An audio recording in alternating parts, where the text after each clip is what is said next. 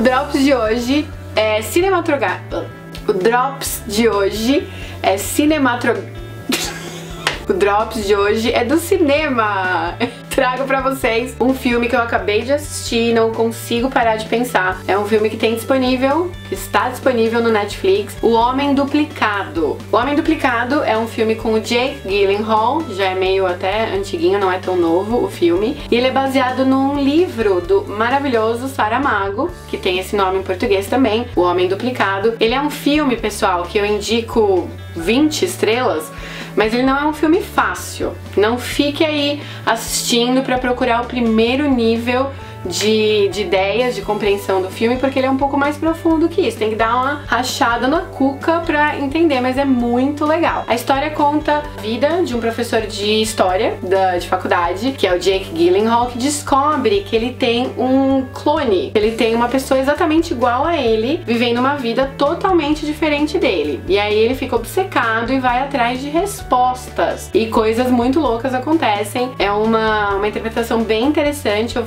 deixo a dica para você prestar atenção em algumas coisas, principalmente as cenas em que aparecem aranhas spiders nesse filme. E a dica, fica de olho nessa parte, do que tiver aranha é uma coisa que é pra prestar atenção. O filme também é, tem a Isabella Rossellini, que é a mãe do Jake Gyllenhaal no filme. Que, aliás, e... na parte que ela aparece, é ela uma... quase que explica o problema todo que tá acontecendo. Né? Fiquem né? de olho na cena com a Isabella Rossellini. Ela aparece pouco, mas é como o Fernando Então, falou. Presta atenção na frase dela que ela fala. Presta atenção na frase, nas frases que ela usa nesse diálogo. Essa frase, esse momento é um momento chave. Também aparece uma chave, coisas importantes com Kiss dentro desse filme. Então fiquem de olho, assistam, muito bom. E por que, que eu vim falar desse filme hoje, além de eu não estar tá conseguindo parar de pensar nele nesse Drops? A gente fala do título desse filme em inglês. Então, muito estranhamente, a tradução desse livro e a tradução desse filme, o título, em inglês é enemy. O que quer dizer um enemy? Ele é um inimigo. Já deixa aí algumas coisas que podem levar a sua interpretação do filme. Fica aí por sua conta, sem spoilers, porque esse é um filme que não tem como. Mas enemy, então, é um inimigo. E, pra complementar, eu sempre surpreendo com a quantidade de palavras e sinônimos em inglês. Tem mais um sinônimo para você aprender, que é o mesmo significado de enemy, que é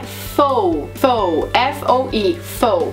Foe é uma palavra mais formal que fala de inimigo, fala da pessoa que é o seu inimigo. Quando você vir, quando você olhar alguma coisa que tenha o foe, é um sinônimo de enemy. Friend or foe é uma expressão que eles usam bastante para você testar a pessoa que tá na sua frente. É um amigo, friend, ou inimigo, foe. Friend or foe. E enemy também é esse sinônimo. Assistam o filme, treinem bastante, coloquem enemy e foe na sua lista and bye!